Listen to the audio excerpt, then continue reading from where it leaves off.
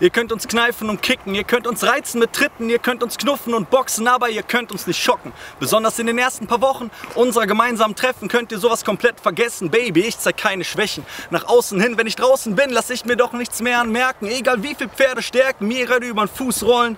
Ich sag nicht Dau, maximal verstaucht. Bisschen Eis drauf tun reicht auch schon, mehr ist echt nicht nötig. Und wäre es letztlich tödlich, ich würde trotzdem nichts dagegen tun. Paragraph 1 im Macho-Regelbuch, der Frau tut seh schon weh genug. Sie muss sich nicht noch um dich kümmern, schmeißt den Laden ohnehin komplett alleine, nur für die Kinder. Während wir zur Erziehung beisteuern, dass wir dem Kleinen einbläuen. Indianer kennt kein Schmerz, denn eine Squaw verschenkt ihr Herz.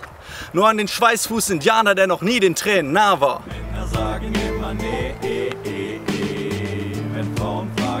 das eh, eh. Männer, Männer sagen immer nee,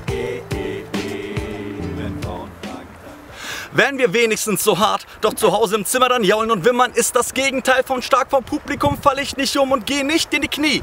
Doch beim Papercut zu Hause, da hab ich mehrmals laut geschrien, mir die Finger verbrannt und im Zimmer getanzt, so wie ein Rumpelstilzchen. Als Kind dachte ich noch, mein Vater tanzt beim Kochen, nur zu Musik mit heute bin ich genauso wütend. Ich schreie und ich wüte und ich leide, so wie kein Zweiter, fällt mir was Leichtes auf meine Füße. Heiße Brühe an der Zunge, Eisenlöffel an den Lippen, wieder eine neue Wunde, wieder ein Grund zum Ausflippen. Warum wir so oft austicken? Seidener Geduldsfaden kombiniert mit einer Schmerzgrenze niedriger noch als unterste Schubladen, was wir manchmal für einen Frust haben. Ist wirklich die unterste Schublade. Ich leide nicht mehr, ich sterbe schon. Ich gehöre eigentlich in eine Fernsehshow. Und wenn ich es heldenhaft doch überlebe, erzähle ich alles bei Stern TV. Mein größter Rückhalt während dieser schweren Zeit war meine Frau. Es war ganz hart. Schnupfen, richtig harter Schnupfen. Nicht nur so, äh, sondern richtig krass, fast schon Grippe war das.